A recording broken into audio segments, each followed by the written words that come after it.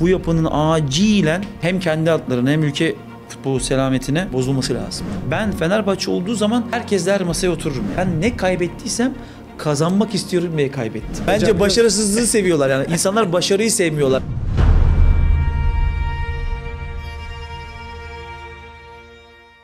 Emre Belezoğlu hoş geldiniz. Hoş bulduk. Teşekkürler. Aslında sert bir soruyla başlayacağım. Emre Belezoğlu'yu tarif edersek. Hain mi yoksa kahraman mı? İlk söylediği kelime hain kelimesi hiçbir sporcuyla hiçbir bence yani bu anlamda bağdaşmayacak. Türkiye'de bunlar o kadar birbirine yakın ve kolay kullanılabilen kahramanımız ya da bu hain gibi çok kolaylaştı artık bu cümleleri içinde bu kelimeleri kullanmak. O yüzden Biraz tercihe göre zaten hocam ya bu iş. Türkiye'de ben bunu söyledim. Türkiye'de e, insanları kahraman ilan ederken hep bir altlığı hazırlanıyor. Yani bir sporcu ne kadar kahraman olabilir? Tabii ki de bir insanları e, mutlu etmemiz itibariyle milli takımda uzun süreler oynamamız ki en çok oynayan oyunculardan bir tanesi ben olmam itibariyle bizi seven oldu. Tercihlerimize binaen, sahadaki profilimize binaen bizi sevmeyenler de oldu ama ya ben kendimi hiç iki, iki konuma da duruma da yakıştırmıyorum. Ben gerçekten iyi bir sporcuydum. Futbolu çok seven bir futbolcuydum. Şimdi hala beni besleyen şey yine sahanın kenarında teknik adam olarak bir şeyler yapabilmek. Beni mutlu eden yerler var hayatımda. Bunlardan bir tanesi kesinlikle futbol. Bana kazandırdıkları, kaybettikleri var.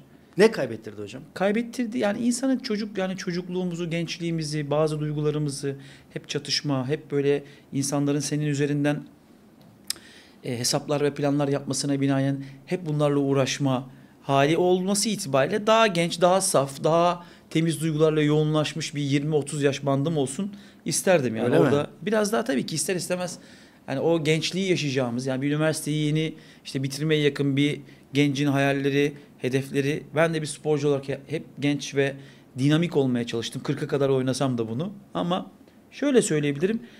Getirdiği götürdükleri bu şöhretim var.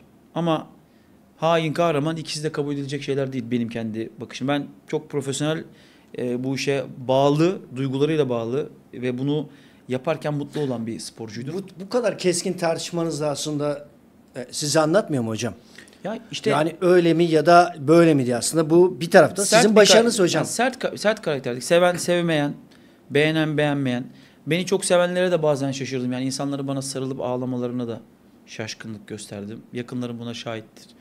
Bir yerde bir tepki gösteren yani bir yere gittiğimizde bazen bu şöhretin getirdikleri kadar götürdükleri de var dedim ya. Yani o, onun onun bize karşılığında o sevgisizliği net bir şekilde gösterebilen insanlara da şaşırdım. Yani beni tanımıyor. Ne kadar benimle ne paylaştı.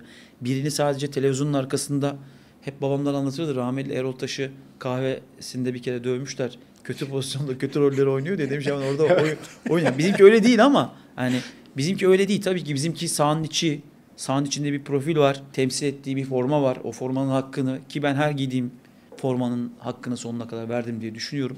Her giydiğim formayı terlettim ve bundan da hep şeref duydum. Ağır. Hem kahraman ağırlık taşıyor. Hem bu hain hiç yani ben hainin Yakıştırdığım için arkasına söylemedim. Yok, Genel yok. olarak böyle bir Öyle yani kimsenin kimsenin ya şimdi Türkiye'de al- algılar, gerçekler o kadar ters yüz ki. Yani hangisi doğru, hangisi gerçek, hangisine inanacak insanlar, hangisine inanmayacak. Çok zor bir dönem yaşıyor bence ülke. Aslında dünya yani 2012 sonrası bu sosyal medyanın, bu akıllı telefonların hayatımıza girmesiyle beraber bence insanlar artık neyin iyi neyi kötü olduğunu bir simülasyonda eee, anlamaya çalışıyorlar. doğruluk testi yok bence teyidi yok. Yani bunu bunu bunu senin hakkında bir şey söylüyorlar. Bir anda bir uyanıyorsun sabaha. İşte Öyleymiş. diyorlar ki trend topik olmuşsun. O ne? Bir bakıyorsun bir şey söylemişsin. Hal- Halbuki öyle bir şey söylememişsin. Haydi bunu yani yalan olduğunu sen onun ispatlamak zorundasın. Bir iftiranın gerçek olmadığını ispatla zorunlusun. İftira iftirayı sana atan, yalanı senin hakkında konuşanın öyle bir e, mecburiyeti yok. Hocam Time dergisi Mbappe için Dünya Kupası'nı kazandığında 18 yaşında sen ne yapıyordun diye. Adam Dünya Kupası kazanıyor. Siz bir Dünya Kupası kazanmadınız ama aslında oradan bakınca da hocam böyle yaşanmışlığınız da çok e, güçlü. Yani e, kendinizi kaç yaşında hissediyorsunuz? Özellikle 40'tan sonra değişken olmaya başladı. Bazen çok 20'lik hissediyorum. Bazen 65'lik hissediyorum. Ama 40 sonrası böyle bir olgunluk hal, hasıl oluyor insanda. Yani beni mutlu eden çok şey var hayatımda. Allah'a hamd ettiğim, şükrettiğim çok şey olması itibariyle her sabah kalktığımda çok şükredeceğim şeyi olduğunu düşünen birisi olarak hala çok genç hissediyorum. Onu yaşlandırayım ama 20 20'li yaşlarda olduğumu hissediyorum. Ama mesela o, o çok bence dinamik bir soruydu. Yani sen 18 yaşında ne yapıyorsun diyordun diyor. Ee, onu biraz anlatır mısınız hocam? Mesela o yaşlar falan çok, ve, ve çok büyük başarılar. Ya tabii ben Yani e, şöyle söyleyeyim hocam. Ben çocuktum siz gol atıyordunuz. ya da Emre ne yapacak meselesi vardı. Ya ben sokakta e, 14-15 yaşından itibaren bu ülkede tanınmaya başlayan o dönem işte e, genç oyuncu profili dendiği zaman işte şu an benim yaşıtım herkesin beni hatırlayabileceği işte baktığınız zaman bazı profiller var jenerasyonlar ne kadar eski olsa ne kadar yeni olsa olsun yani bilinecek profil oyunculardan bir tanesi oldum hep. Yani beni 6 yaşında çocuk da hala sokakta tanıyor. 65 yaşında ablam da işte abim de tanıyor yani. Bizim öyle bir ismimiz oluştu ama zor çünkü e, dünya çapında futbol oynayabilme, bu beceriyi evet sahada gösterme, bunu devam ettirebilmenin de altında bir temeli olması gerekiyor. Yani Mutlaka. biz bunun şöyle örnekleyebilirim. Ben o 94 senesi Avrupa Şampiyonası'na gittim genç milli takımla. İki otobüs geldi İngiliz milli takımı bizim kaldığımız otele. Onlar iki otobüs geldi, bir otobüs biz gittik. İkinci otobüsünden inen 20 ya da 15 kişilik bir staff vardı. Onların içinde 3-4 tane de bayan vardı. Hem de öyle sarışın güzel bayanlar. İngiliz milli takımı eşofmanını giymişler, indiler. Dedim ki bu kadar bizde de bir doktor var, bir kafile başkanı var. İşte bir masör var, iki hocamız var. Bizde 5 kişilik bir oyuncu dışında Ekip var. bir ekip var. Kafile var. Kafile başkanımız dışında. Dedim, Niye böyle? Sonra zaman geçti. Baktım masörler konuşuyorlar kendi aralarında. Biz de e, o zaman 14 yaşındayız. Hep böyle zamanımızı masörlerin odasında, doktorların yanında geçiriyoruz. Sohbet ediyoruz takım arkadaşlarımla. Dediler ki 3 tane psikoloğuyla gelmiş, mentörüyle gelmiş İngiliz milli takım oraya. O 3 tane bayan aslında oyuncuların mentor hazırlığını yapmaya çalışan. Biz 2002 Dünya Kupası'nda ilk defa bir psikologla milli takıma yani o dönem için gittik. Turgay Biçer'di galiba. Turgay Hoca geldi. e, Şenol Hoca götürdü. Yani aslında bu işin psikolojik tarafı biraz sosyokültürel problemler bunlar. Yani bizim mücadele ettiğimiz bu coğrafyadaki gençlerin hangi mesleği yaparsa yapsın mücadele ettikleri gerçekler ile Avrupa'da yetişmiş hangi mesleği yaparsa yapsın bir gencin mücadele ettiği şeyler aynı değil. Bizim hazırlıklarımız dünya çapında bir futbolcu olmak üzerine yapılan saha içi hazırlıklardı. Hiçbir zaman saha dışı bir hazırlığım olmadı benim. Bana kimse kitap oku demedi. Ben eşimle evlendikten sonra kitap okumaya çok daha fazla başladım. Bana kimse işte kendini geliştirmek için işte mentorlarla görüş, e, işte ne bileyim PR çalışması için kendine bir ekip tut demedi. 40 yaşına geldik bunlar konuşulmaya başladı. Şimdiki nesil biraz daha zeki ve bu kabiliyetlere erişmiş gibi görünse de Ama bence, sizin çok da zamanınız olmadı hocam o işlere. Ya- Yani 10 ka- kaç yaşında hocam ilk Galatasaray'da oynadınız? Ona 96, 16 senesinde oynadım. 16, 16 yaşında oynadım. 96 senesinde. Beş şey yani uluslararası art konuyorsunuz yani. Tabii ama işte diyorum ya biz birazcık daha o fanusun içinde kalmış profillerdik. Yani sonra Türkiye'de işte bi- biraz özellikle 2000'ler ortası 2010'un yaklaştığı andan itibaren birazcık bu değişimler olmaya başladı. Biz de o zaman daha hani genç değil artık tecrübeli bir oyuncu olmuştuk. Biz de kendimize göre orada Fenerbahçe'nin içinde ve Fenerbahçe'nin yaşamış olduğu zorluklarla beraber ister istemez o kemikleşen yapının bir parçası olduk ki bunu isteye isteye de yaptık. Çünkü Fenerbahçe çok zor bir süreç yaşıyordu. Doğru. Ha ben hani her sürecin içinde öyle veya böyle bulundum. Çok da uzun konuştum bu konuyla alakalı ama söyleyebileceğim bu sorumlulukların bilincinde daha iyi yetişebilecek tabanı olan genç oyunculardan bir tanesi olabilirdim. Ama sonradan kendimi geliştirmeyi becerdim diye düşünüyorum. Hocam öyle de şu- kapattım görüyorsun soruyu öyle de kapattım. şey, e, şöhret ve içeride konuşurken de şu, hem şöhret hem parayı taşımak hakikaten çok zor hocam.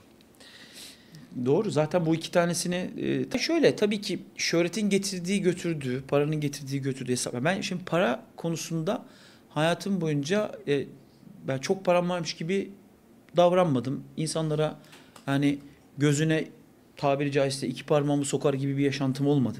Hiçbir zaman bunu bahsetmedim. Yani ben zaten geldiğim yeri elimden geldiğince bilmeye çalışan bir çocuğum. Çünkü aileden bunu gördüm. Şu Aileden açıdan da hocam özellikle bunu sordum. Yani sonuç itibariyle insanı dağıtabilir de e, Tabii bu ki. mesele. Yani muhtemelen zaten şahit olduğunuz, bir, üzüldüğünüz birçok an olmuştur hocam. Yani çok büyük paralardan bahsediyoruz. O yüzden özellikle taşıma meselesini söyledim. Tabii yani etik ve burada edep, ahlak mevzuları biraz devreye girdiğinde o beni hep kontrol altında tuttu. Paramı yönetmede, paramı harcamada. E, Parayı tabiri caizse çok affedersiniz göstermede. Yani yaşantınla göstermede. insanlara o parayı gösterme de bir hastalıktır, sevdadır yani bazı insanlar için. Ne yazık ki görebiliyoruz bunu e, ülkemizde. Ama şöhretin futbolculukla beraber gelen o şöhretin yönetim kısmında diyorum ya Avrupa'daki gençlerin girmedikleri sınavlara girmek zorundasın bizim ülkemizde. Bunun bir karşılığı var. E bu sefer de tabii ki etki tepki. Senin sana karşı tepkilere karşı hemen bir yani bunu bir cevaplamam lazım. Benim hakkımda iftiralar, benim hakkımda yalanlar, benim hakkımda işte dolanlar dolaşıyor. İşte bunlara cevap vermem lazım deyip böyle o duygusal reaksiyonlar biraz toplumumuzun içindeki aslında bir insan sanki temsiliyim ben. Yani biz duygusal bir toplumuz. Ben de o duygusallıkla beraber o etkiye tepki o yani karşımda olan o kimse o cena onlara hep bir tepki verme gereği de duydum. Belki bununla alakalı şöhretin getirmiş olduğunda yönetmem gereken süreçler daha doğru yönetmem gereken süreçler vardı. Onu söyleyebilirim. Ama şöyle bir haliniz de var hocam. Yani burada dimdik dururum. Ne olursa olsun ben buradayım. Her koşulda da veriyorsunuz o mesajı. Özellikle oyunculuğunuzda biz bunu çok gördük. Yo, ben yani benim inandığım bir şey varsa bunun arkasında durmak ve o, o inanma kısmı benim için çok kolay olmaz. Yani inandığım bir şeyin arkasında, inandığımın yanında durma konusunda hiç tereddüt etmem. Yani herkes karşı olabilir. Herkesin içinde olmadığı bir şeyin içinde de olabilirim. O benim yani kendimce haklı gördüğüm bir masum hakkım olduğunu düşünüyorum. İnsani bir tercihtir çünkü. Herkesin e, çünkü kalbini bilen yegane benim için Allah'tır. Yani herkesin kalbini net herkesten daha iyi bilen, hatta kendinden daha iyi bilen varsa birisi o da Allah'tır. O yüzden hiç tereddüt etmedim. İnandığımı bazen e, söylemede de inandığımı yanında e, durmada da hiç hiçbir zaman e, tereddüt etmedim yani. Ben iki tane çok belirgin olay hatırlıyorum. Orada mesela o harika olmamak çok zor. Aslında sizden de beklenmeyen bir şeydi. Yani bir Zokora meselesi, bir tekme meselesi vardı. Bir de Melo meselesi vardı. Melo'nun atıldıktan sonra size karşı hareketleri. Çok iyi yönettiniz bence oraları. Yani e, Zokora konusu tamamen o dönem Fenerbahçe ve Trabzon. Trabzon. Trabzonspor'un arasındaki bu oluşturulmaya çalışılan, oluşan diyeyim daha doğrusu artık oluştu onu değiştiremezsin. İstesen de değişmez. E, rekabetin bir üstü artık o. Yani rekabet her takımın kendi rekabeti var. Sanki Trabzon'la Fenerbahçe artık rekabetin üstünde bir yeni bir kelime bulmak lazım ona yani. Artık Katılıyorum. ra- rakip gibi değiller artık yani. Katılıyorum. Onu- çünkü ben o kelimeyi söylemek istemiyorum. O düşmanlık kelimesini söylemek istemiyorum ama rekabetin üstünde bir şey yaşanıyor artık Trabzonspor ve Fenerbahçe arasında. Bu 2012-2011 senesi e, sonrası oluşan süreç bu. Yani siz de onun içinde oldunuz Tabii zaten. ben yani o dönemde takımın da içinde olduğum için e, temsil bayrak oyuncular var. Biz de onlardan bir tanesiydik. Oraya gelen bir tane siyahi oyuncu. E, sağ içinde bir küfürleşme var. Oyuncu yöneticisi tarafından, basın sorumlusu tarafından yönlendiriliyor ve bir açıklama yapılıyor. Yani karşılıklı orada bir küfürleşme var ki ben hiçbir aksiyonun içinde ilk adımı atan hiç ben olmadım. Hayatım boyunca bir oyuncuyla tekmeleştim diye ona küfür etmedim. Her zaman bana birisi bir şey dediği zaman cevap vermişimdir. Onun bir ton üstüne çıkmadan cevap vermişimdir. Onun bir tonu olmadan fazlası tekmeleşmişimdir. Yani benimki birazcık hiçbir e, koşulda ilk adımı atan adam olmadığımı söylemekten öteye geçmez. Yani o sınırın içinde hep kaldım diyorsunuz. Hep o içinde Sertlikte kaldım. sertlik. Ben hiçbir zaman işin kumar tarafında, işin yazı tura tarafında, işin tahrik tarafında olan adam olmadım. Her zaman tahrik eden adam oldum. Her zaman işin içine çekilmeye çalışan adam oldum. Ha bunu becermem gerekirdi işin içine beni çekmeye çalışanlara. Belki bu iki konuda şöyle düşmedim. Çünkü onun beni itham ettiği konu benim kalbimde barındırmadığım bir duygu olması itibariyle. Eğer öyle bir şeyi hissederek o diyaloğa girmiş olsaydım yani bu onunla bahsedilen ırkçılık meselesinden Tabii ırkçılık konusuna alakalı. Elimi de uzatmazdım. O bana elini uzatmadı. Ben bu memleketin evladı. Ken e, Zokora bu memleketin evladı oldu. Yani bunları hep beraber yaşadık. Sonraki kimsenin hatırlamadığı bir maç var. O senenin sonunda biz Türkiye Kupası finalinde de Zokora bana yerdeyken üstüme bastı. Orada da kırmızı kart göstermedi hakemler. Yani aslında herkes benden öcünü aldı orada. Herkes benden intikamını aldı. Ben bir tek yine maçtan sonra ben bu memleketin evlatı Zokora için tek bir cümle bile kullanmam dedim. Çünkü artık o yapıyı hani herkes bu arada bir yapı yapı söylüyor. Söylemeyeyim öyle bir şey. O düzeni yapıyı demeyeyim de o düzeni ben gördüm. O düzenin benim içinde olmamı istenen o düzenin içinde olamayacak bir adam olduğumu ben çok genç yaşlarda 29-30 yaşlarda gördüm. Yani Emre Belezoğlu'na vurmak bir prim meselesi miydi? Tabii ki de. Rahatlıkla yani artık korunaksız Tabii haline de. mi gelmişsin hocam? Yok korunaksız değil yani bizi sevenler var. Her şeyden önce hiç kimse olmasa Allah var. Benim hiç öyle bir bakış, bakışım yok.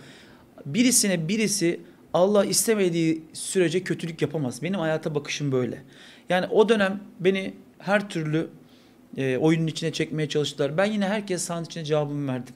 32 yaşında yurt dışına gittiğimde de yine herkese sahanın içine cevabımı verdim. 40 yaşında A milli takım forması giyerek de herkese cevabımı verdim. Çünkü benim orada cevap verebileceğim tek bir yer vardı. O da sahanın içiydi. Ben çok saha dışı polemiklere girmedim. Sadece bazen tabii ki haksız yere çok ağır iftiralar olduğu zaman sanki o konuşanın haklı olduğunu insanlar düşünmesin diye cevaplar verdim. Yoksa Zokora konusu da o dönem ben ikinci Örnek itibaren söyledim. için söylüyorum hocam Kapandı yani. gitti.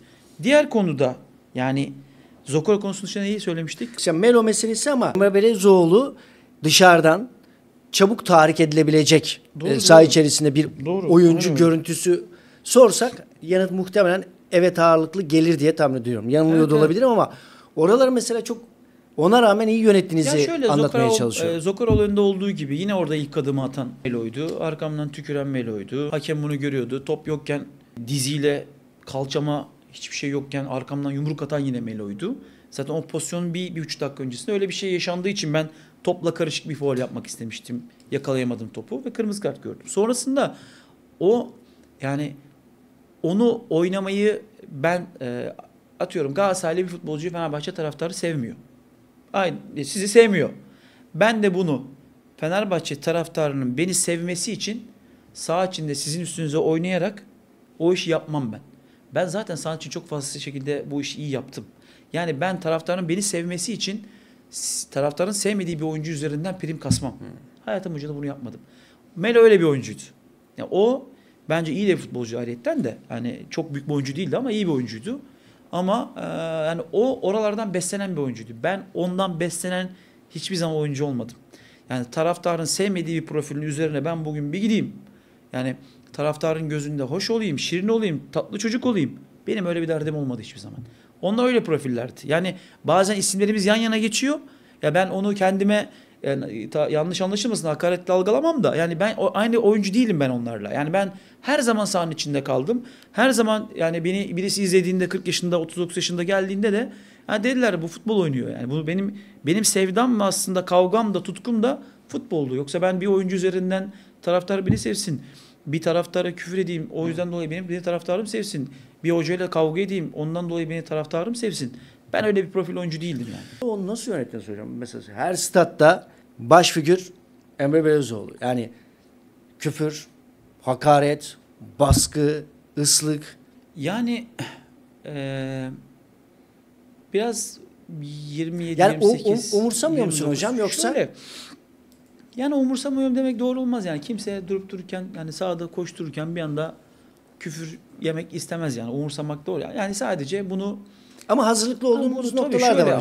hazır- şöyleydi yani. Ben artık onu kabullenerek cevap verme tarafının onlarla muhatap olmama ama sahanın içinde çatır çatır iyi oynayarak bunlara cevap verebileceğim gerçeğini çok önceden görmüştüm ve bunu hep yaptım. Yani o yüzden onlar senin oradaki motivasyonunu, performansını etkileyebilecek bir e, şeye giriyorsa o sende e, o zaman karşı tarafın istediğini yapmış oluyorsun. Ben onların Yani akılsızlık yapmadım. yapmış oluyorsun. Tabii, tabiri caizse akılsız yapmış oluyorsun. Ben yani burada onların benim performansımı etkileyecek o tabiri caizse o f- benim kendi koruma kalkanımın içine girecek duruma getire, getir, getirmedim. Onlara müsaade etmedim. Hep manşet olmak nasıl bir duygu? O Oldu. get, getirisi var işte. Bunu yani kendi yaptığım mesleğin, yani profilimin eleştirebilir bir profilim ayrıyetten ben. Yani öyle hep hep beni övsünler, hep beni sevsinler öyle bir profile değilim yani. Artık alışmışsın. Bence zaten Artık birini hep övüyorlarsa, zaten hep hocam. birini seviyorlarsa bir sıkıntı var onda da. Hani öyle de bakıyorum artık çünkü. Ama e, yani bazen bunu hak ettiğimi veya hak etmediğimi düşünmekten öte bunun hayatın getirisi götürüsü, kendi içinde getirdikleri var. Bir götürdüğü bir şey olarak görüyorum. Yani hani yani insanın bakış açısıyla alakalı birazcık kendini pozisyonlandırdığı yaşları yaşadığım için belki de yani hayat ne getirdi ne götürdü. Bir iyisi var, bir kötüsü var, bir güzeli var, bir çirkini var. Bu da onun bir şey tarafı. Benim için bir eksi tarafı gibi bakıyorum. Bunu kabul ettim. Yani bu yokmuş gibi de davranmıyorum. Onunla yaşamayı öğrendim yani öyle söyleyeyim. Bazen hocam mesela Fenerbahçe tarafında geçen iki açıklamalarınız çok konuşuldu ama çok kısa da geçmek istiyorum. Yani düşüncenizi söylemekten çekindiğiniz anlar oluyor mu? Yani artık iş oraya mı geldi? Mesela geçen yıl Galatasaray'ın daha iyi bir kadroya sahip olduğunu söylemiştiniz. Yani aslında gittiğimiz ve Murat Aşık mesela şiddetle itiraz etmişti buna. Evet evet Murat Aşık çok bayağı bir bize bir şey Bora, e, sevmiyor bizi canı sağ olsun sıkıntı yok. Yok çok Ya sıkıntı yok. Hatta Ya ben- bilmiyorum belki röportaj sırasında da oraya çünkü görmek istediğinden bahsetmiştim. Ya bizim Fenerbahçe ile bir bağımız oluştu. Biz Fenerbahçe ile insanları hayatlarımız aynı olmasa da, hayat görüşlerimiz aynı olmasa da Fenerbahçe olduğu zaman birleşebilecek çok şeyler bulduk insanlarla. Yani ben de Fenerbahçe'nin senelerce kaptanlığı yapmam itibariyle insanlarla belki onlarla aynı sofrada oturmam. Belki onlarla rakı tokuşturmam. Ama ben Fenerbahçe olduğu zaman herkesle her masaya otururum yani. O yüzden benim için hayatın çok büyük bir parçası olması itibariyle Fenerbahçe birçok insanın içinde Fenerbahçe sevgisi olduğu için ben onlarla çok şey paylaştım. Sizi Fenerbahçe bu, bu durumda en böyle çok bağlayan şey ne oldu hocam? Sadece taraftarlık duygusu değil herhalde. Bu bu bu bu, Yani bu ya- yani Fenerbahçe'nin galiba. Fenerbahçe'nin hiçbir şeyi umursamadan o sevgiyi içinde barındır, barındıran insanların hiçbir şeyden çekinmeden her şeyi söylemesi, her şeyi net bir şekilde Fenerbahçe merkezli düşünmeleri. Ben de öyle bir sporcuydum Fenerbahçe'de oynarken. Şimdi ben geçen sene bir teknik direktör olarak bir yorum yaparken ben Fenerbahçe'nin taraftarının Galatasaray'ı övmemden rahatsız olacağını düşünerek bunu yapmadım. Ben orada bir tespit yaptım. Benim değerlendirmem iki takımın da rakibi olmuş. Yani bizim için de kolay olmayan tarafı aslında Fenerbahçe'ye rakip olma kısmı. Galatasaray'a rakip olma kısmı değil. Çünkü ben Galatasaray'a defalarca Fenerbahçe takım for- formasıyla hem takım kaptanı olarak hem bir şekilde bir sürü hakaret Yani en çok tokadı da yani. siz ben yediniz onları, belki Ben de. onun en ağırını yaşadım. Doğru. Benim için o günkü tespitimin arkasında yatan şu. Bana bir soru geliyor. Fenerbahçe ile de oynadığınız Galatasaray'ın. Ben Galatasaray'ın kadrosunun daha kaliteli olduğunu düşünüyorum demek. Fenerbahçe'yi de küçültmez. Fenerbahçe camiasında yapmış olduğum her şeyi de e, tabiri caizse tukaka edecek hale de getirmez. Ama ya bu kötüyü alma ve bizim üzerimizde yani Fenerbahçe camiasının içindeyken de ben. Ben Fenerbahçe camiasının içinde e, spor direktörlük yaptım, teknik direktörlük yaptım. Her döneminde iyi giderken hiç Emre konuşulmadı. En, uz- en ufacık bir kötü gitmede 10 maçın bir tanesini kaybettiğinde bile Emre Belözoğlu manşet oldu. Yani bizim için hazırlanan Bu iyi, bir iyi değil mi hocam bu aslında sizin için? ya benim için şöyle ben bir mücadeleden kaçmam. Oranın lideri gibi görünüyor. Ya benim şöyle ya bu bu tabii ki de benim Yani o- olduğum yerde onu başka kimsenin siz değil mi hocam? konuşulmaması o benim için e, şöyle bir yani o bana bir sorumluluk getiriyor. Yani herhangi bir durum olduğunda Emre Belezoğlu'nun konuşulması ben bir sorumluluk hissediyorum burada zaten. Onda bir problem yok. Ama yani ben Galatasaray'la alakalı bir tespit yani kendimi bir teknik direktör olarak görerek bir tespitimin bile orada bir taraf olduğunu ya da atıyorum Galatasaray'a yenildiğim yavaştan sonra yani bir sporcuya ya da bir teknik direktöre kim olursa olsun ki benim sporculuğum her zaman kazanma odaklı oldu. Ben ne kaybettiysem kazanmak istiyorum diye kaybettim. Bana bile Galatasaray maçı kaybedildikten sonra türlü türlü hani böyle beni tanıyanlar da dahil buna Murat- Aşık da dahildir. O bile sanki bile isteye Galatasaray'a kaybedebilecek bir profil çizdiğimi burada mikrofonların önünde söyledi. Yani ha onları kapattık geçti. Herkes istediğini söyler. Benim için önemli olan tarafı Emre Belözoğlu olarak ben o gün sabah kalktığımda gece yatana kadar yapabileceğim en iyisini yaptım mı? Hep öyle baktım. O gün de bana soru sorulduğunda vicdanım benim Fenerbahçe daha iyi takım olsa ben bunu söylerim zaten. Hani Fenerbahçe ile de oynamışım. Galatasaray'la da oynamışım ben. Hani Galatasaray'ın daha iyi takım olduğunu düşünüyorum. Çünkü omurgası çok güçlü. Bir teknik direktörüm ben. Bir teknik direktör olduğunuz zaman zaten bir takım yapılanmasında en Ne güçlü olmasını istediğiniz yerler bellidir. Kaleci, stoper, işte orta saha, 9 Yani arkadaşınız Okan Burak'a kıyak ya yapmadınız. olmaz ya öyle olmaz. Ben Okan abiyle halı ben sahada... böyle, böyle net soruyorum. Yo hiç. E, Rahatım Yani- hocam. E, çünkü çok e, temiz anlatıyorsunuz o yüzden. Ya Okan abi benim abimdir. Ben ama orada karşında onun teknik direktör olduğu yerde o duygusal rekabet olur. Yani o rekabeti de kazanan taraf olmak istersin sen. O yarın bir gün 10 sene sonra birbirimizi gördüğümüzde birbirimizle hasbihal ettiğimizde konuşabileceğimiz bir e, yüzümde bir ifade olsun isterim ben. O maçta ben 7-0 yenildim. 3 3 3-0 olduğunda maç Galatasaray'ın iki tane şutu vardı benim kaleme. Yani futbolun da orada bir cilvesi yaşandı aslında bizim e, teknik direktörlük kaderimizde diyeyim. En Yani zor gecelerden biridir benim muhtemelen sizin hayatımın için. hayatımın en zor günlerinden bir tanesiydi. Ya ben Hakikaten yedi- öyle oldu benim, mu hocam? Ya şöyle totalinde büyük fotoğrafında unutamayacağım kötü hatıralar var futbol hayatımda, teknik direktörlük hayatımda. O gece şöyle hissettim. Yani ben sanki yani teknik direktörlük konusunda hiç bu kadar ağır ne yazık ki ithamlarla karşı karşıya kalmadığım için futbolculuktan alışıktım birazcık. Yani ama hani sanki bile isteye bir şeyleri yap, yok, yapmışım gibi konuşulması o bizim için üzüntü verici tarafıydı. Unutamam. Çünkü ben zaten kaybettiğim zaman uyumam gece. Futbolcuken de böyleydi. Öyle mi? Yani teknik direktörde de böyle. Ya ilaç alırım uyumam gerekiyorsa ilaç alırım ya da uyuyamam zaten kaybettiğimiz gecelerde. Ama benim için o unutulmayacak kadar kötü hatıralar olan bir akşamdı. Ama Okan abinin ben her zaman iyi olması isterim bir abi olarak. Yoksa ben- ama onunla karşı karşıya geldiğimde benim karşımda kim olursa olsun ben o gün üzerimdeki formanın ya da bulunduğum kulübenin ya da bulunduğum camianın başarısı dışında hiçbir şeyi hak helal görmem kendime. Yani onun dışında kim bir şey söylüyorsa dediğim gibi hani herkes kendi defterine yazar onu.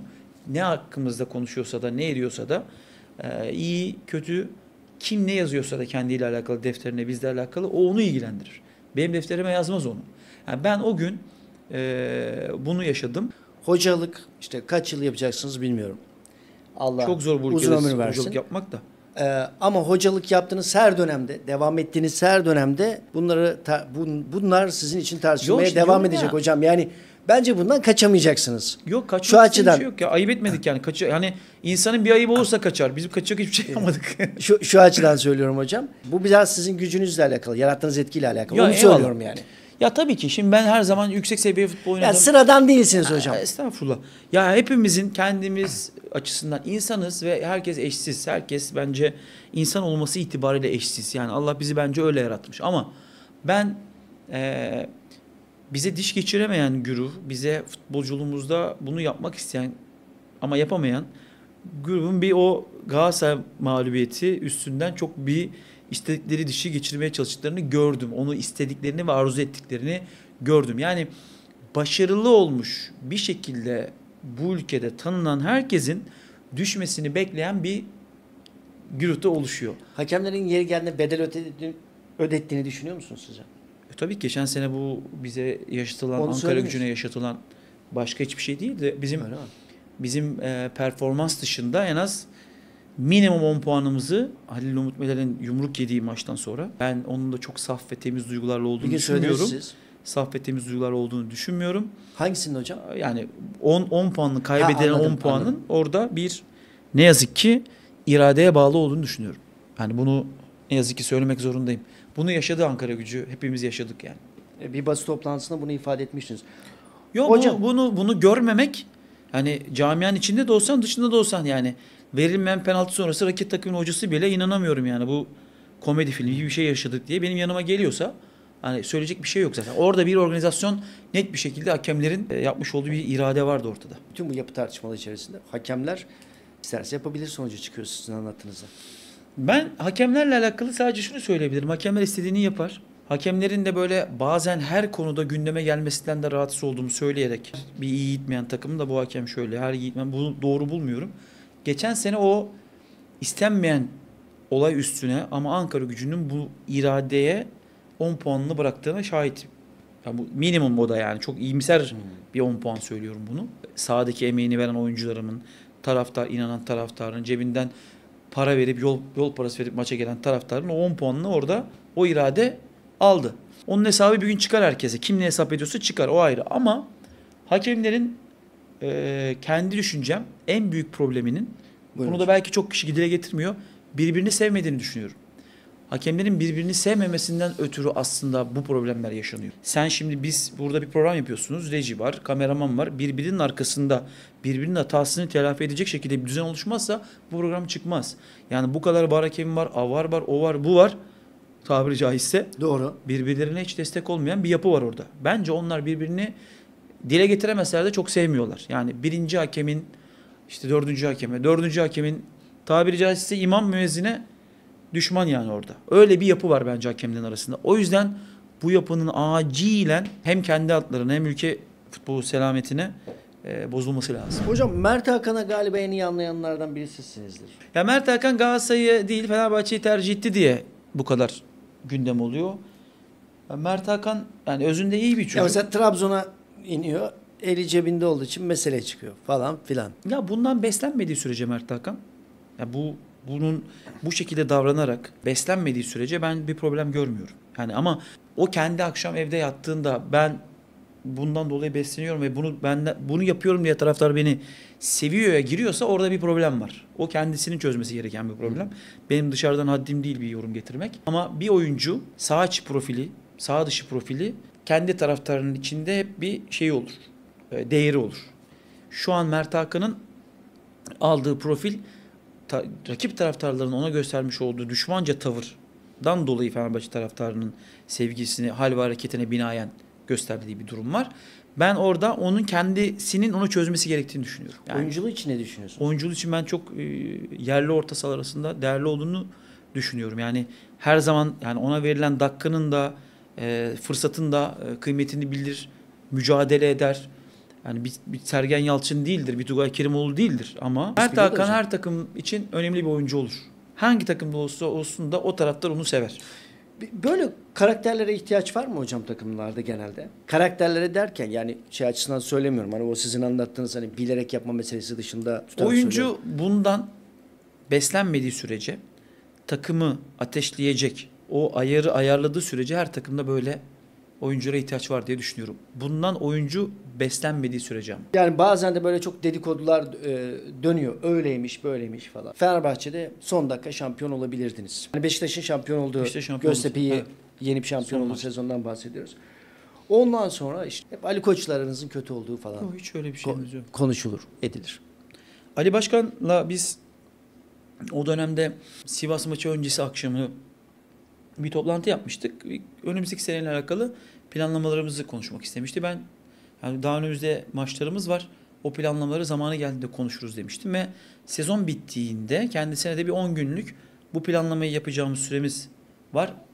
O da seçim süreci olduğunu söylemişti. Ben de tek adaylı bir seçim süreci olması itibariyle buna hazırlanmak yerine bence takımın geleceğine hazırlanmamız gerekiyor diye söylemiştim ve o e, bana yardımcı hocalık konusunda iyi büyük bir hoca getirelim.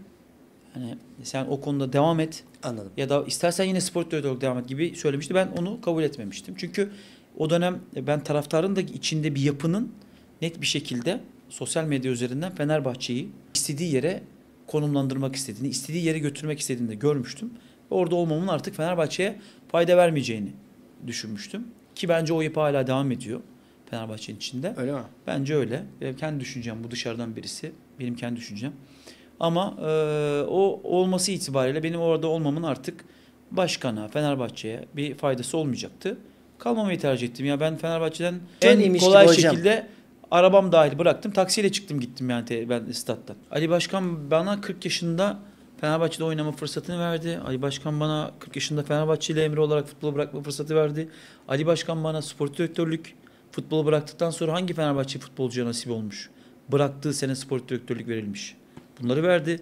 Ben ahde vefatı kusur etmem. Ali Başkan'ı hala Bayram, Seyran, e, seneye devreleri olsun Mustafa abinin hepsinde ararım. Konuşuruz gördüğümüzde birbirimize. E, benim için Ali Başkan her zaman değerli o- biri olarak hep kalacak yani. Rana o deyince ne aklınıza geliyor hocam? Teren beni e, Galatasaray'dan Inter'e götüren Ha öyle mi? spor direktörüdür. Öyle evet. mi? Yani Teren Fenerbahçe'ye geldiğinde Sonra ilk operasyonu da size yaptı Fenerbahçe'de. Yanlışım yok değil mi hocam? Orayı Yani- kime yaptı?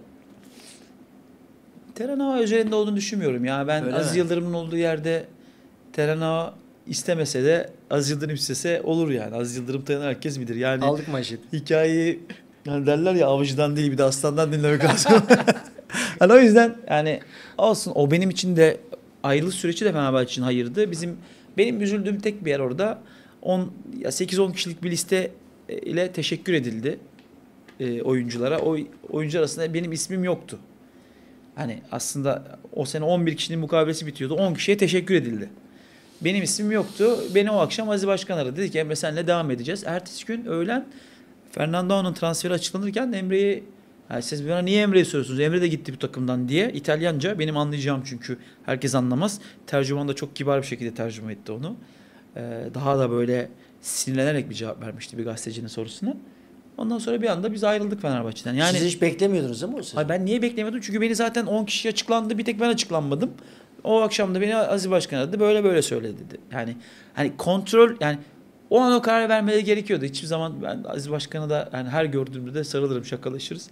O dönem beni göndermesi bence Fenerbahçe için belki ayırdı. Ha ben kalsaydım o takımın içinde daha ya çok önemli oyuncular gelmişti. Yani ben Çok.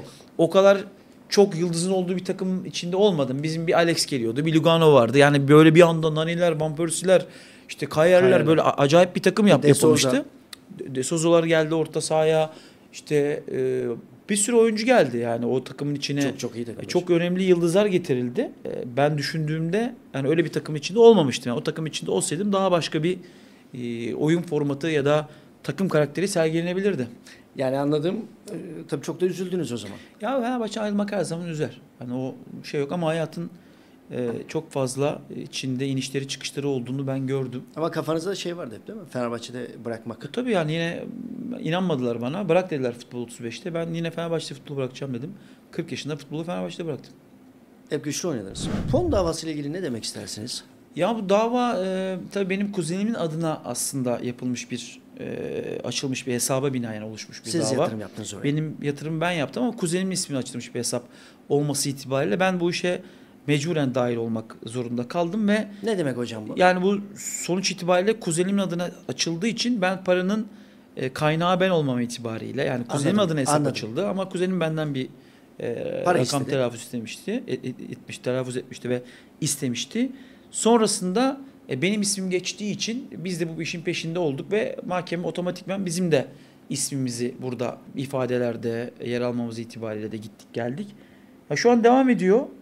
Yani ümitliyiz. Kasım'ın ortasında yine bir dava var.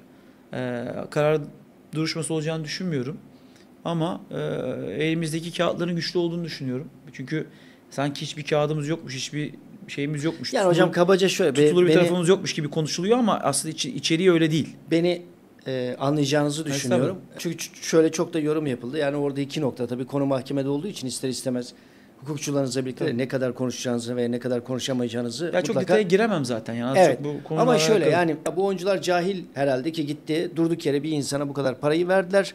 İkincisi Fatih Terim söyledi bu arkadaşların hepsi de gitti bu işi yaptı diye. Fatih Hoca'yla bu konunun e, alakası bize söylediği bir şey yok. Bana en azından söylediği bir şey yok. Fatih Hoca'nın burada bu fonda da parası olduğunu bize o dönem banka müdürü söylemişti. Onun dışında Fatih Hoca ile alakalı benim bir bilgim yok. İki, ben 14 yaşından beri para kazanıyorum. Ben 14 yaşından beri Allah nasip etti. Hiç de bunu övünerek de söylemem. Aileme ben bakıyorum. Çocuk işçi gibi çalıştım ben. O yüzden ben elimdeki paranın kıymetini bilirim. Ee, çok da pinti bir adam da değilimdir. Ee, ama e, bankacılık işlemini 14 yaşından beri nasıl yapıldığını bilirim. Yani ben o bankaya o paranın bankacılık işlemine binaen verildiğini çok iyi bilmekle beraber bunu ben belgelendirdim zaten. Hı. Ben bu belgelendirmeme binaen ben mahkemede hakkımı arıyorum. Bu yapının yani bu Organizasyon değil. organizasyonun bu kadının yapmış olduğu organizasyonun içinde e, yani bu bu fonun içinde başka sporcu olduğunu da ben bilmiyordum. Öyle mi? Yani ben bu bu, bu spor, sporcu arkadaşlarım bu işi ben bankaya gidip bu kağıdın karşılığı var mı diye sorduktan sonra müfettişleri çağırdıktan sonra bankanın içine o süreç öyle ilerledi. Yani burada Yani siz mi bir taraftan açığa çıkardınız? Bilmiyordum. Biraz bizim bizim biz vesile olduk bu sürecin hızlanmasına. Ama yani burada iki taraflı e, bir e, süreç var. Burada ben kendimi yani haklı olduğum kendimi tanımak ve kendimi bilmekle beraber ben bankacılık işlemini yaptığıma inandığım için davam benim devam ediyor. Hukuk çerçevesi içinde ben haklarımı sonuna kadar aramaya devam edeceğim. Bir diğer yandan hocam Emre Belezoğlu ve siyaset. Hiç içinde olmadım siyasetin hayatımda. Aslında böyle böyle ben siyaset olduğunda bir Ya da iktidara yakınlığınız. Diğer taraftan Benim sizin bir- hakkınızdaki Evet, iddialar. FETÖ meselesi. Bunlarla ilgili bugüne kadar da çok az e, konuşuruz ama bunların da değerli konuları olduğunu e, düşünüyorum. O yüzden e, bunları da konuşmak istedim size. Zaman zaman çok sık dile getiriyor. Örneğin Fatih Altaylı bir şey oluyor. Tak Emre Belezoğlu. Ne demek istersiniz hocam? Ee, siyaset bir kere benim hiç içinde olmayı istemediğim biz siyasetçi derler ya siyaset yapıyor. Ya ben si- siyaset yapmayı becerebilecek bir profil değilim zaten. Ben siyaseti yapamam. Ben- ben- bence de hiç olmaz hocam. Ama yapamam yani. siyaset yapamam bir. Ben siyaset yapamayacak birisi olmam itibariyle siyasette konuşamam. Ha, benim ikili ilişkilerime binaen her zaman eee Sayın Cumhurbaşkanımıza karşı bir muhabbetim olmuştur. Kaç yıldır tanıyorsunuz? Ben e, İstanbul Belediye Başkanlığı döneminden beri e, Yani, yani, neredeyse profesyonel tabii oyunculuğunuzdan profesyonel beri. oyuncudan beri tanıdığım birisidir. Yani futbola karşı e, sevdasını ve sevgisini ve insani ilişkilerindeki sevdiği insanlara göstermiş olduğu muhabbete binaen benim kendisine bir sevgim vardır. O bakidir. İlk önce Cumhurbaşkanı olsa da Cumhurbaşkanı olmasa da bir abi bir insan olarak kendisine bu sevgim bakidir.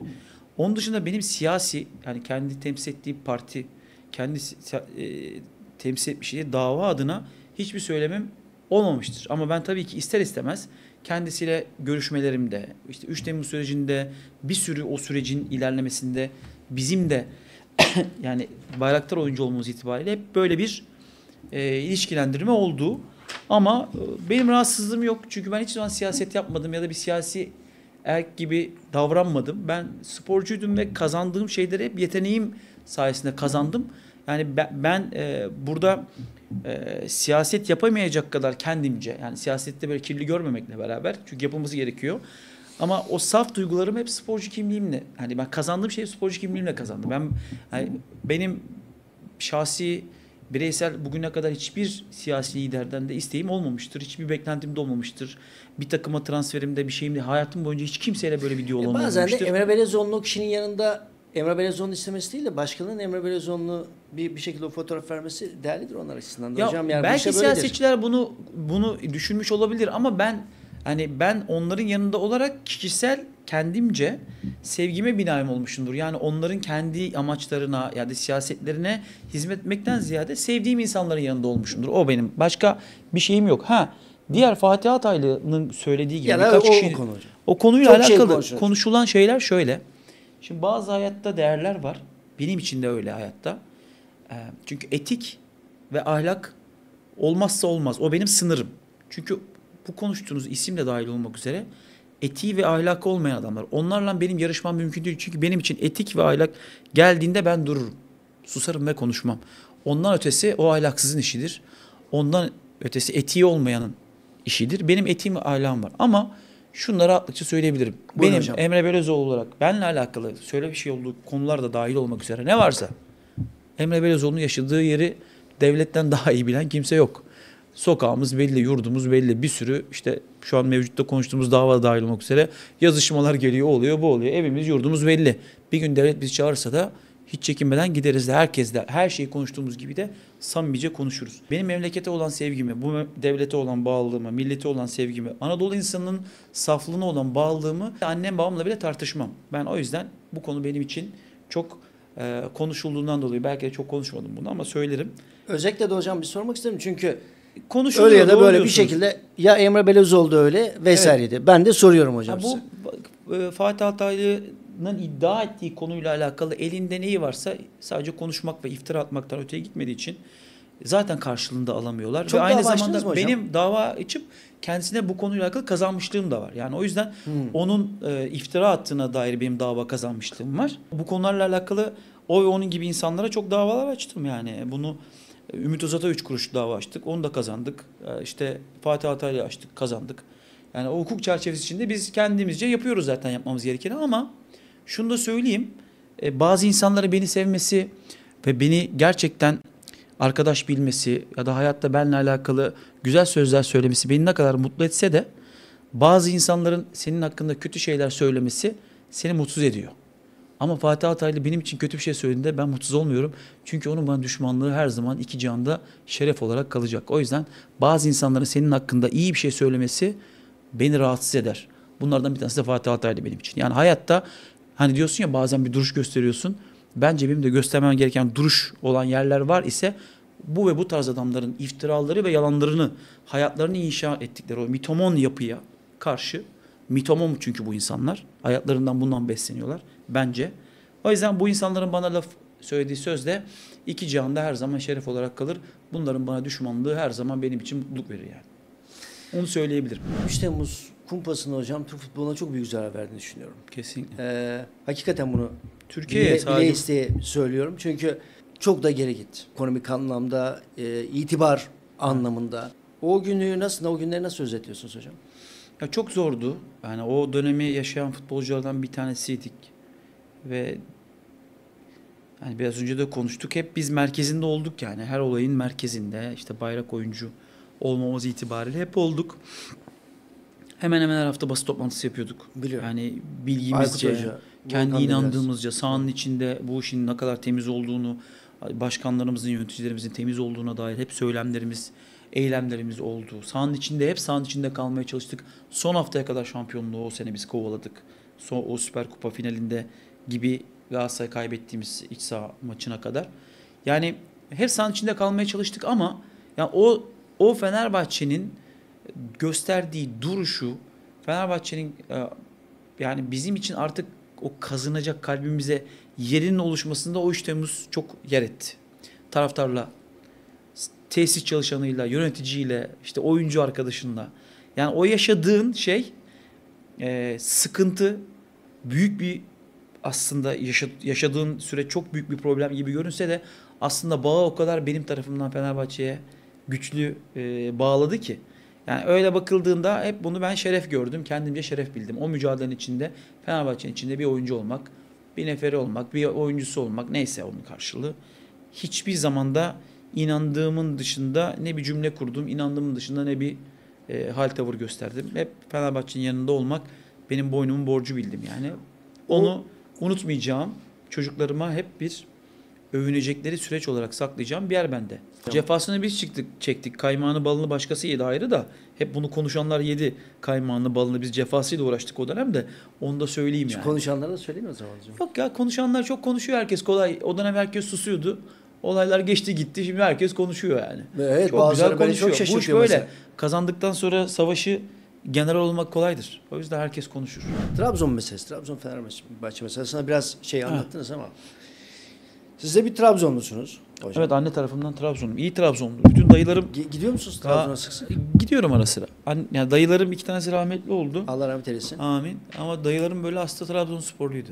Anne tarafım biraz öyle maçkalı olması itibariyle. Öyle mi? Nasıl diyaloglar? Ya onların böyle hep bir Trabzonspor sevdası vardı yani. Trabzon yendiğinde hep mutlu olurlar. Yenildiğinde böyle agresif olurlar. Biraz Karadeniz insanının böyle içi dışı bir derler ya. Öyle e, bir çocukluğumda hep onları hatırlarım. Ben bu gergin düşeceğini, geçeceğini düşünmüyorum hocam. Yani öyle görünüyor. Yani her gün daha da Çünkü ba- ürkütücü başka bir başka bir seviye maç yani oluyor. ürkütücü bir şekilde büyüyor. Yani e, bence korkmamız gerekiyor. Yani bu kadar düşmanlıkla beslenen bir düzenin olması. Yani yöneticilerin açıklamaları, işte oyuncunun hal tavırları. Biz de ben mesela Şimdi tam hocam burada diyecekler ki e, Emre Belezoğlu iyi güzel anlatıyorsun da sen de burada o maçlarda bunu tetikleyenlerden biriydin. Bir derler tane Emre? Belezoğlu'nun tribüne hareketini göstersinler yani. Bir tane Emre Belezoğlu'nun Trabzon tribününe benim kafama bilardo topu attılar. Ben ters bakmadım ya. Taş attılar ya. Şenol Güneş geldi. Siyah işte e, kağıtlara sarılmış taş attılar kafama benim korner atmaya gittiğimde. Yani kafama taş geldiğinde düşmemi mi bekliyorlardı anlamadım. Düştük yere düştük yere bizi kaldırmaya geldiler. Yani o kadar da şey değiliz yani. Biz de etten kemikten yani ta- dağdan taştan yaratılmadık. Taş attılar kafamıza düştük yere. Onun dışında gidip tribüne bir şey yapmadık. Yani bütün stat ben- ben- benim aileme küfür ederken bile yani ben dönüp bir hareket yapmadım. Ben hiçbir zaman aksiyonun içinde birinci adam olmadım. Yani ben e, yani sağ içi şöyle sağ içinde ben kazanmak için yani tabiri caizse yırtınırım o ayrı bir şey. Foul de yaparım. Hakeme de itiraz ederim. Yani o gün inandığım benim haksız bir karar verdiyse bunu da yaparım. Ama bu benim o taraftarı galyana gaza getirmek için yaptığım bir şey değildir. Ha maç içinde bir oyuncu bir tepki verir ben o tepki veririm. Bunu ben taraftarı ga- gaza getirmek için yapmam. Kulübeden teknik direktörü bana Sırpça küfür eder. Ben ona cevap veririm. Bunu ben taraftarı tahrik için yapmam. O, o anki etki tepkidir o yani. Onun dışında ben hiçbir zaman tribüne dönüp bir hareket yapmadım. Ya da galyana gelsinler, gaza gelsinler, görüşelim. Hadi bu biraz böyle şenlensin ortam diye. Dediğim profil, saydığım oyuncularla aynı profil değil, bir oyuncu değilim ben. Öyle bir imaj oluştu ama öyle biri değilim ben. Öyle ondan beslenmedim. Ben sadece sahanın içine kazanma odaklı bir oyuncu olmam itibariyle yani takımın o profil oyuncularından biri olmam itibariyle beni aslında birazcık hedef bildi rakip takım taraftarları Trabzon'da e, aynı şeyler yaşandı. Ama hiçbir zaman öyle hissetmedim. Yani o düşmanlığı içimde hissetmedim. Fenerbahçe'nin hakkının çok yenildiğine inandığım maçlar oynarken dahi hep yine etik ve o e, sınırı e, korumaya çalıştım. İki notum daha vardı onları da sormak isterim. Hocalık kariyeriniz. Başlangıç şampiyonluğu kaybettiniz. Ee, ardından Başakşehir, Evet Başakşehir'de. yanılmıyorum değil mi hocam? Evet, Ee, sonrasında Ankara gücü. Ankara gücü. Kaç puan veriyorsunuz kendinize hocam? Yani bu tabii ki göreceli bir şey. Yani ben kendimi puanlamam. Şunu ama şunu sorayım önce pardon hocam. Tabii ki teknik direktörlük değerli bir koltuk ama o koltuğu daha da değerli yapan oradaki oyuncular mıdır hocam? ahçılık gibi bir şey bu ya. Yani elinde senin güzel hamur varsa, çok kaliteli peynir varsa böyle hani eee sevdiğin pizza birkaç tane hocam. İspanyol, İta- İtalyan peynirler var. Onların isimlerini söylemeyeyim. Elinde güzel pe- peynir varsa, güzel zeytin varsa, güzel domates varsa çok güzel yaparsın. Fırın fırın çünkü sen fırınsın. Sen fırının odunu sana lazım. Doğru. Odun sen- senin senin o becerin, iyi odunu baltayla keseceksin, getireceksin, fırına koyacaksın. Hazırlığını yapacaksın ve o şekli alacak şey de o malzemedir. Tabiri caizse kalitedir. Yani senin ne kadar kaliteli elinde oyuncu havuzu varsa hani bazen böyle konuşuluyor işte Fenerbahçe'de başladı, Ankara gücü düştü falan. Yani Fenerbahçe'de ben Fenerbahçe'de hangi hoca olursa olsun zaten şampiyonluğu oynayacak. Yani. Çünkü şampiyonluğa hazırlanmış bir kadro veriliyor eline veya kadro hazırlıyorsun. Ki sen. Ankara gücü için ayrı bir parantez ayırıyorsunuz. Yaşananlarla ilgili az önce Ankara gücü, ayırdınız. Ankara gücü Ankara gücünün 16 tane beraberliği var benim dönemimde. 16 beraberlik. 16 beraberliğin 12 tanesini kazanma oyununu oynadı. Oradaki eee, yerel basın da buna şahittir. 12 maçı yani 16 maçın 12 tane maçını berabere kaldığımız 12 maçı da kazanma oyununu oynadık. 6 tanesini 90. dakikada gol yedik ve 1-1 bitti. Yani o takım yani düşmemeliydi. Çok yüksek kalite bir oyuncu grubu yoktu. Ama o 16 maçın 12 tanesi o beraberliğin 12 tanesi kazansa 24 puan yapar. 10 tanesi kazansa 20 puan yapar. Zaten Avrupa kupalarına giderdi o takım. Yani biz çok kaliteli oyun oynattık. Ben puanlamada herkes böyle Fenerbahçe'de başladı. Şampiyonluğu son hafta kaybetti. Başakşehir'de dördüncü bitirdi. Başakşehir'de beşinci bitirdi. İki senemde ben öyle bitti. Başakşehir'de Türkiye Kupası finali yaptım ben. Oynadık beraber. Oyuncularımla beraber. Geçen sene Ankara gücüyle biz Fenerbahçe eleyip yarı final oynadık Türkiye Kupası'nda. Doğru. Yarı final maçlarının ikisinde de Galatasaray, e, özür dilerim Beşiktaş'tan çok daha iyi top oynadık. Hem İnönü'de hem Eryaman'da iki maçı da kazanmamız gerekti. Final oynayacak oyunu oynadı takım. Her maçta bir planı olan, her maçta rakibinden daha iyi %75-%80 oranında bir takım vardı geçen sene Ankara gücü. Yani ben teknik adamlıkta benim maçımı izlemeye gelen bir teknik adamın, kendini geliştirmek isteyen bir teknik adamın çok parçalar bulabileceğini düşünüyorum. Ben çünkü çok kafa yoruyorum ekibimle beraber oyuna, oyunun gelişimine, elimdeki malzemenin gücüne göre yapabileceğim ne? Hep onun derdindeyim. Teknik adamlıkta ağaççılık gibi elinde malzeme varsa çok güzel herkesi mutlu edecek sunumlar, herkesi mutlu edecek oyunlar oynatırsın. Yoksa kazanma odaklı, pragmatik bakmak zorundasın. Savunan, bazen kötü görülen, bazen çok cüretkar, hani tabiri caizse hiç düşünmeden hiçbir şeyi bir oyunlar oynamak zorundasın. Ama elimde güçlü kadro olduğunda herkesle yarışabilecek bilgim ve becerim olduğunu düşünüyorum. Tabii bu aynı zamanda zaman meselesi hocam. Bu teknik direktörlük zaten yani hemen e, Allah'ın futbolcu bahşettiği çünkü. gibi değil. Şöyle oluyor. Çünkü Emre Belözoğlu büyük topçu diyor. E, bilir, gelir, çözer. Öyle bir şey yok. Öyle bir şey değil yani. Şöyle bu teknik adamlık her zaman telefon işte elimize alıyoruz 12'si var, 13'ü var, 14'ü 15, 16 çıkmış, 16'nın güncellemesi. Yani teknik adamlıkta devamlı kendini güncellemen gerekiyor. Yeni oyunlara, yeni metotlara, yeni karşıt planlar, yeni kendi adına planlar. Çok mu daha zor hocam artık oyun? E, tabii çok zor Çok- çok mu zor? E, çünkü e, orada bir oyun oynanıyor. Yani teknik adamın e, kulübe içinde oyunu görüp hamleye hamle, yani satranç gibi yapman gerekiyor. Yani çok gelişti artık. Rakipler senin baskına göre bir plan buluyor. Sen ona göre tekrar baskını değiştirmen gerekiyor. Yani o güncel bilgileri devamlı yenilemen lazım. Yani oynatmak istediğin oyunu kendi oyuncularına aktarmak kadar aynı zamanda onu dinamikleştirecek süreç kulübedeki süreç. Yani teknik adamlığın fa- farklı evreleri var ama bu da bir anda olmuyor. Bu da bir anda olmuyor. Başarılar ve başarısızlıklar hele bizim gibi profiller için büyütülebiliyor. Yani bugün bugün Xabi Alonso Re- Real Sociedad'ı Geçen sene değil ondan önceki sene ikinci ligden üçüncü lige düşürdü. Bayer Leverkusen'in hocası oldu. Yani hocam şey diyorsunuz değil mi? Benim başarısızlığımı daha çok seviyor insanlar. Yok öyle demeyeyim ya. Ben baş, benim başarımı yani be- bence başarıyı insanlar sevmiyor. İnsanlar başarıyı Ben çok tersi- sevmiyorlar. ben tersini düşünüyorum Bence hocam. başarısızlığı seviyorlar yani. İnsanlar başarıyı sevmiyorlar. Bence çok başarılı hani birini ya da başarıyı sevmiyorlar insanlar. Onun altında bir şey arıyorlar hep. Öyle söyleyeyim yani. Benim özelimde söylemeyeyim bunu. Her başarılı insanın başarısı olmasıyla alakalı planlar var. Onu demek istedim ben. Anladım. Ama şunu söyleyeyim. Burnley'i düşürdü. Bugün takım hocası Bayern Münih'in hocası. Bugün Xavi Alonso onu söyledim demin.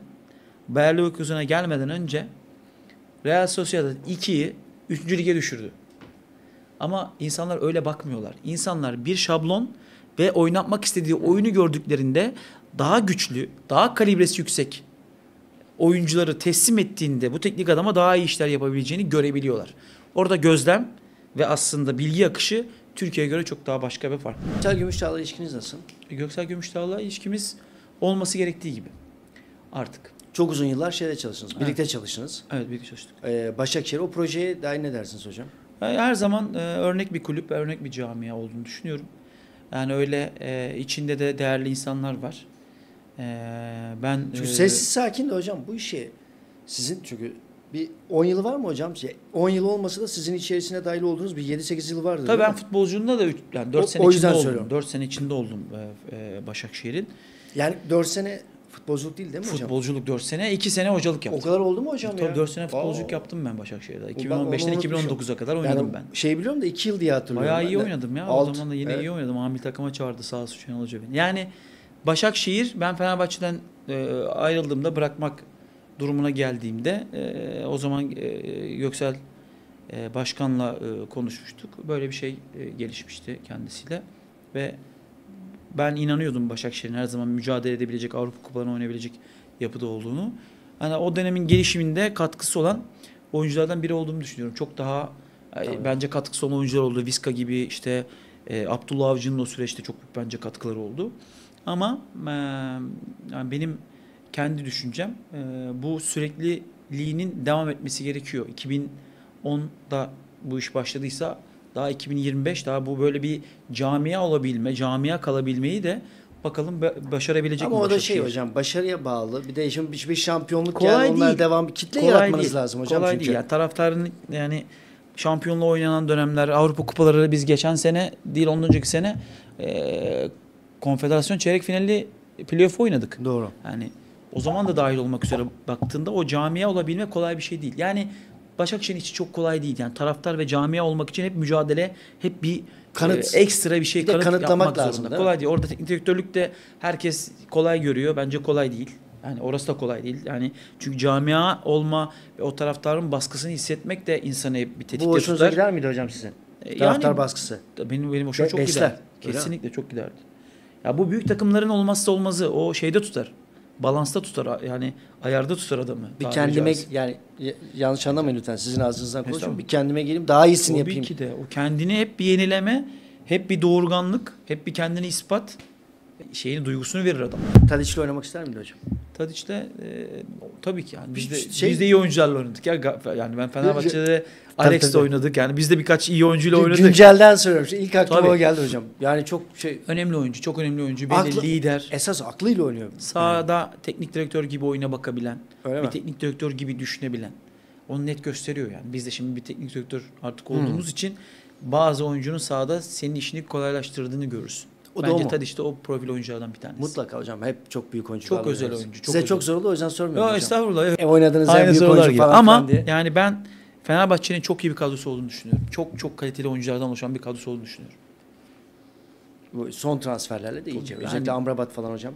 Ya şimdi Amrabat yani yani oyuncunun da o böyle formayı hani terleten ve kaliteli oyuncu. Hani böyle hem formayı böyle sonuna kadar terleten ama kalitesi olan oyuncuyu gördüğünde Fenerbahçe taraftarı mutlu olur. Bence işte Fred'i gördüğüm mutlu oluyor. Tadic'i gördüğüm mutlu oluyor. Amrabat'ı gördüğüm mutlu oluyor. Bence hani bu oyuncular e, değerli oyuncular Fenerbahçe için.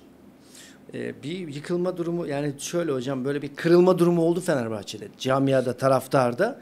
Ama oyun içinde Zaman lazım onun kadarıyla. Ya da Yani çok beklenti büyük onu bir hoca var yani. başında. Büyük bir hoca var. Sabredilmesi gereken bir hoca var. Oyunun inşası bazen dışarıdan taraftarın yorumladığı kadar kolay olmayabiliyor. Öyle mi? Yani herkes tabii Ama ki hocam çok şu çok da yok ister. mu ya hocam? Ya arkadaş ulan şuradan şuraya atacaksın o topu. Ben bir gün Aykut Hoca'yla röportaj yaptım. Dedim ki hocam dedim e, ben çünkü çocukluğumda Aykut Hoca, ilk izlediğim Evet. maçlar Aykut Hoca'ydı. Ki bilirsiniz çok iyi bir golcüydü bence Çok, çok, çok. Aykut Hoca. Nereye koyuyorsunuz demiştim kendinizi. Dedi ki özetlere bakınca ne topçuymuşum diyorum ama o gün kafayla olmaz. Şimdi dedi neredeyse sağ bek sağ beki geçtiğin zaman gelip sana sol bek e, basıyor. Oyun o yüzden galiba çok böyle Çok şey zorlaştı. Ya da keyif vermiyor hocam bilemiyorum. Oyunun her parçasını defansif, ofansif, basit söyleyeyim.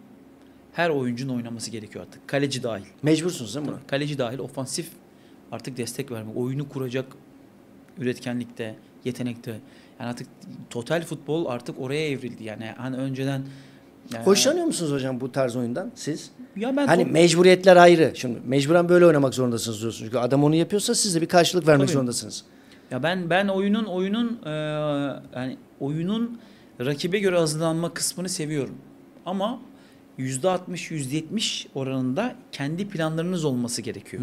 %20 %30'luk planlarınız rakibin şekline, şemaline tabiri caizse oynatmak istediği oyuna ya da saha içinde oyun içinde yaptığı hamlelere göre şekil alması gerekiyor ama büyük takımların %60 %70 kendi net planları olur. Hiç vazgeçmediği. A planı da büyük bir plansa tek plan bile yeter. Bazı takımlarda A, B, C oyuncu profiline göre şekillenir. Ama %30, %40'lık kısmında %20 de olur. Herkese göre değişir bu. Bana göre de rakibe göre hazırlanma kısmı olması lazım. Yani ben Fenerbahçe'de Şart. Fenerbahçe'de sabredilmesi gereken bir teknik adamım, adam ve oyuncu grubu olduğunu düşünüyorum. Fenerbahçe yeterince sabırsız davrandı. Artık bence sabretmesi gereken bir süreç var önünde. Onu hep beraber herkes e, her Fenerbahçeli gibi biz de göreceğiz, yaşayacağız. Hocam samimiyetle çok keyif aldım Ben röportajdan. Birçok şeyi konuştuk. Umarım siz de keyif Ama ben de almışsınızdır. keyif aldım, hiç sıkıntı yok. Biz- ben sağlık. ben e, ben de ben de çok fazla çıkmıyorum, çok fazla konuşmuyorum. Yani hatta yorumculukla alakalı da birkaç böyle istek oldu, arzu Ben oldu de ama istiyorum hocam. Eyvallah. Teşekkür Vallahi ederim. istiyorum Ben ben. Şu an birazcık daha büyük konuşmuyorum ama sahanın yanında, sahanın kenarında olmak için mücadele etmeye devam etmek istiyorum. Hayırlısı olsun hocam sizin için. Tekrar çok teşekkür ederim. Sağ olun.